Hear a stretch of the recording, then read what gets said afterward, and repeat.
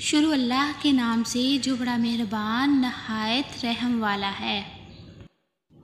एक दिन हज़रत सुलेमान अलैहिस्सलाम दरबार में बैठे थे कि इतने में अचानक मुल्कुल मौत हज़रत इज़राइल अलैहिस्सलाम आ गए। सलाम किया तो सुलेमान अलैहिस्सलाम ने पूछा कि कैसे आना हुआ? तो इज़राइल अलैहिस्सलाम ने फरमाया, कुछ नहीं, बस वैसे आया था। उठकर चले गए। दरबार में मौजूद एक वज़ीर काफ़ी घबराया हुआ दिखाई दे रहा था। कहा, सुलेमान अलैहिस्सलाम ये कौन था? फरमाया कि ये मुल्कुल मौत हज़रत इज़राइल अलैहिस्सलाम थे। वज़ीर ने कहा कि जब वो आए तो मुझे गुस्से से देखा, और जब जा रहे थे तो मज़ीद गुस्से से देखा। मुझे डर लग रहा है, मैं अपनी बहन के पास जाना चाहता हूँ। फरमाया, कहाँ है आपकी बहन?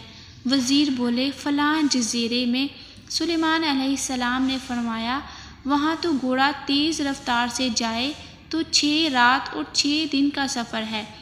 आप मेरा उड़ान तहत ले जाओ, जल्दी पहुँच जाओगे। वज़ीर चला गया, लेकिन वापस नहीं आया। कुछ दिन बाद इज़राइल अलैहिस्सलाम फिर तशरीफ़ ले आए तो सुलेमान अलैहिस्सलाम ने उस दिन वाली बात का ज़िक्र किया। तो इसराइल अलैहिस्सलाम ने फरमाया, मैं इस वज़ीर का इंतज़ार फ़लाँ जजीरे पर कर रहा था, क्योंकि इसकी रूह कब्ज़ करने का हुक्म इस जजीरे पर था। लेकिन जब मैंने दुनिया पर नज़र डाली तो वो यहाँ आपके पास बैठा था तो मुझे यहाँ इसलिए आना पड़ा, क्योंकि रास्ता छः दिन और रात के सफ़र का था, और इसके पास तो चंद ही वक्त था।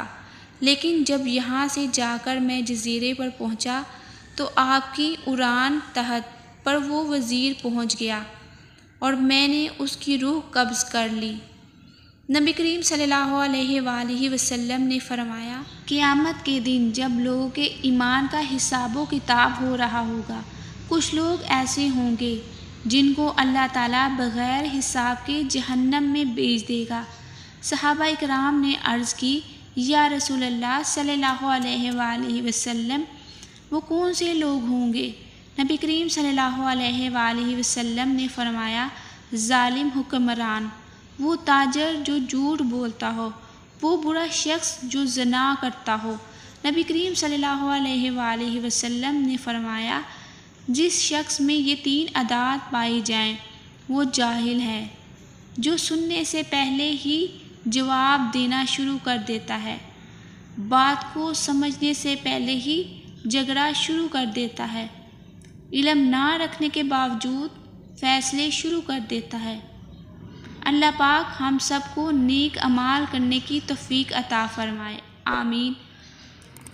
उम्मीद करती हूँ आज की वीडियो आपको पसंद आई। अगर पसंद आई है तो इसको लाइक और शेयर करें। जजाकल्ला